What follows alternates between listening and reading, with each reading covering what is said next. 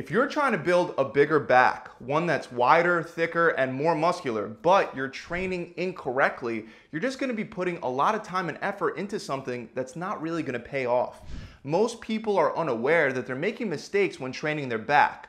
But just by fixing these nine very common mistakes, you'll be able to experience faster and more consistent and reliable progress without risking an injury and without wasting time.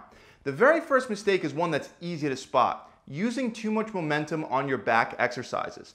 Most people think that this only happens with cable exercises like low rows or lat pull downs, but you can definitely use too much momentum with regular barbell rowing and pull-up movements as well. Using a little momentum, especially by the end of a set, is okay, but if you're using too much momentum, you'll be primarily using your lower back rather than your rhomboids and lats. Not only does this defeat the purpose of the exercise, but it can also easily set you up for a nasty lower back injury, especially since you'll probably only use momentum when you're lifting a really heavy weight that you're probably just not ready for yet.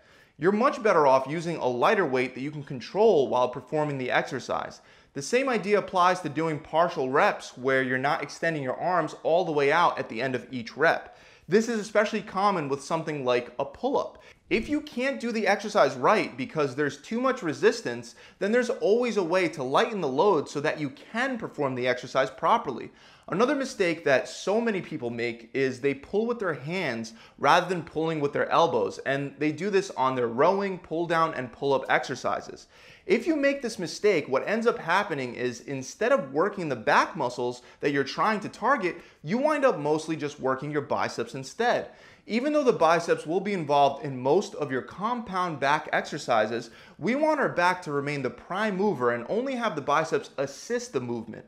One of the best ways to do that is to concentrate on pulling with the elbows. So for all of your bent over rowing movements, you'll want to think about pulling your elbows towards the ceiling. And for all of your pull down and pull up movements, you want to intentionally try to pull your elbows back behind you and down.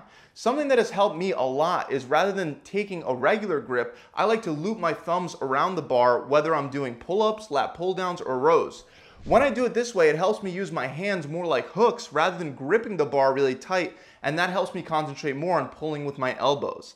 Now you can try this, but understand that it's not required. And if you feel uncomfortable doing your back exercises with this kind of a grip, you could still focus on targeting your back perfectly fine with a regular grip. But another mistake that goes hand in hand with this one is not retracting your shoulder blades before beginning your back exercises. This is again something that will prevent your back from getting the results that you are after. Before beginning any back exercise, you'll want to pull your shoulder blades back and together. You want to imagine that you're trying to hold a pencil in between your shoulder blades throughout the entire exercise. The problem is that most people spend the majority of their day hunched over either because they have a job that requires them to sit in front of a computer, at a desk, or behind a steering wheel, and maintaining that bad posture on a daily basis makes the rhomboids in the back overstretched and weak. So to counter this and to help activate the muscles that are responsible for retracting the shoulder blades, you can grab a resistance band from both ends, hold it straight out in front of you while maintaining a slight bend in your elbows, and then you would open up your arms like you're doing a reverse fly, but at the end of every contraction, you'll also want to externally rotate your arms by turning your thumbs up. You'll want to do this because when you're hunched over a lot, not only will your chest become tighter while your back becomes weaker, but your arms will begin to internally rotate as well. So you can do this exercise for a couple sets before beginning your back workouts to help activate those muscles. The next big mistake that's especially common for beginners to make is not maintaining the neutral lumbar curve when bent over rowing or deadlifting. This puts excess stress on the lower back and leaves you very susceptible to a lower back injury. It's also a very bad habit that you want to fix because it'll carry over to how you lift other objects off the ground even when you're not in the gym.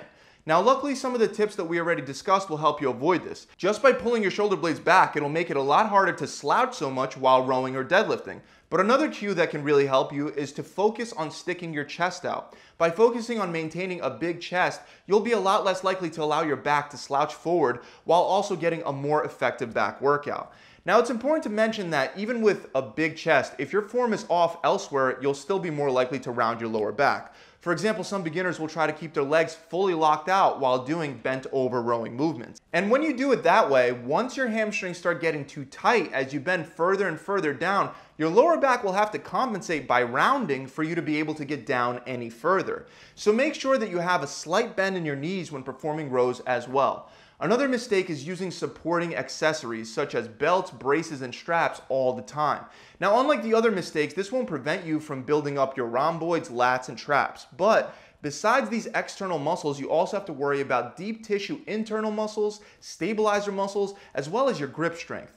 One deep tissue muscle that's very important to keep strong is the transverse abdominis. Its job is to pull your core muscles inward and to brace the core. And when you perform regular deadlifts as well as bent over rowing exercises, not only will you be strengthening your back, but you'll also be strengthening your deep tissue abdominal muscles like your transverse abdominis.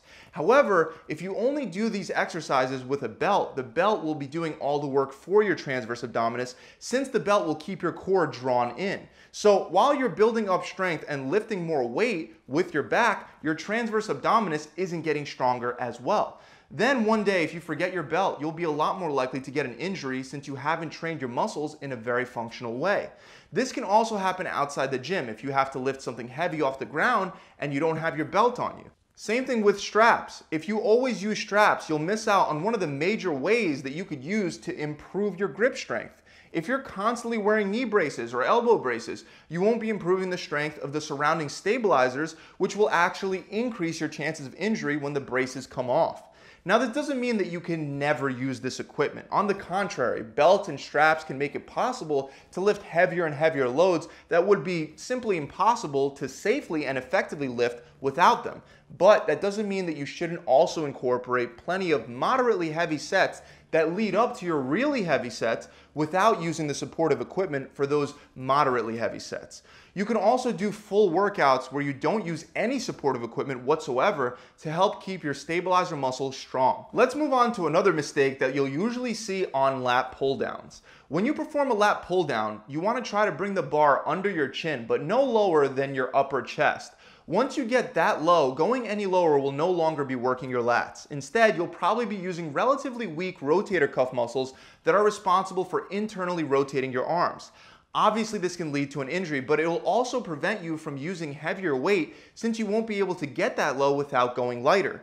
Trying to go that low will also limit lat activation because it'll cause you to pull your elbows forward in front of you rather than keeping them out to your sides. To prevent this from happening, try pulling your elbows back behind you and don't go lower than your upper chest when performing lat pull downs. Next, we have the general mistake of not switching up your exercises and not incorporating any variety. Of course, it's true that exercises like deadlifts, barbell rows, and pull ups are some of the best that you can do to build your back up. But you should also incorporate other exercises that allow you to target your back from unique angles and in different ways. Exercises like face pulls, unilateral cable pull downs, and long angle dumbbell rows can all be very effective at targeting the back in a different way. Repeating the same exercises over and over again will eventually lead your body to adapting to them and you hitting a plateau. A great way to prevent this from happening or to break a plateau if you're stuck at one right now is to switch up your exercises every four to six weeks. Even switching from a regular barbell row with a pronated hand position to a reverse barbell row with a supinated hand position can help you target your muscles in a different way. Also, if you repeat the same exercises over and over again, there is a very real issue that you can run into known as pattern overload, which will increase your risk of developing an overuse injury. So make sure you're switching it up. Another mistake along the same lines is not incorporating any unilateral exercises. Again, it's easy to stick to things like deadlifts, barbell rows, and pull-ups since they're such effective compound exercises for your back. But every workout should also have some unilateral work that isolates one side at a time. This is because if you're always performing exercises with two arms, one side can get stronger than the other and can start compensating, making that other side even weaker. This can lead to disproportionate muscle mass on your back and on your arms. One of my favorite unilateral exercises is the long angle dumbbell row, which is performed just like a regular dumbbell row, except you keep your arm opened up at a wider angle, aiming to bring the dumbbell back towards your hips. This will help you target the back of your shoulder in a way that's gonna be very difficult to do with a regular barbell. Suitcase rows and regular dumbbell rows are great too, as well as unilateral cable exercises. All of these will prevent you from having one dominant side over the other. The last and the final mistake I want to go over is doing too much or too little isolation work. If your workouts are made up of mostly isolation exercises instead of the major compound exercises that we've been talking about, you're gonna have a really difficult time adding thickness to your back. You'll also find it a lot harder to progressively overload your back exercises since isolation work will require you to usually use a lot less weight. With that said, if you're not doing any isolation exercises, you're gonna have a lot of trouble with lagging muscle groups that aren't keeping up with other muscles that might have grown faster. For example, a lot of people have lagging lats, and pull-ups are great to help you build up those lats, but if they're still not growing, incorporating exercises like straight bar pull downs and pullovers can really help your lats catch up to the rest of your back. If you're having trouble with the back of your shoulder, let's say, or it's just not proportional to the front and the side of your shoulder, doing isolation work with exercises like reverse flies can really help as well. Even though everyone is different and some people will need to work isolation more than others, you want about 80% of your workout to be focused on the major compound lifts like the rows, pull-ups, and deadlifts, and about 20% of your workout to be focused on the exercises that isolate parts of your back. So those are the nine major mistakes that I see a lot of people making with their back workouts. I really hope this video has helped you out. If it has, make sure you subscribe to this channel and hit that bell icon so you can be notified whenever I release new, future tips and tricks just like the ones that you found in this video. Also, as always, I wanna remind you that building muscle isn't just about your training, it's also about what you're doing in the kitchen. So if you wanna take the next step and you wanna get a scientifically proven solution for building the maximum amount of muscle in the next 12 weeks without all the fat gain that is typically associated with other bulking programs, then head on over to my website and check out my lean bulking program. Not only will this program lay out exactly what you should be eating for the next 12 weeks as your metabolism adapts and changes, but it also teaches you advanced training concepts like undulating periodization, reverse pyramid training, and much, much more to help you break through plateaus, get stronger, and build more muscle. As with our other programs, there will be a full video exercise library and there'll be a coach to help guide you through the whole program and answer any questions you have.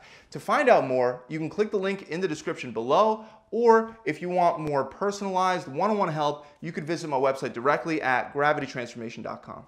I'll see you guys soon.